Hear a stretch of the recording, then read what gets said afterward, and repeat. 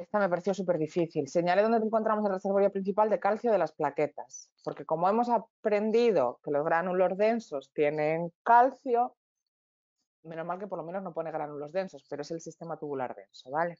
Es el principal reservorio de las plaquetas de calcio.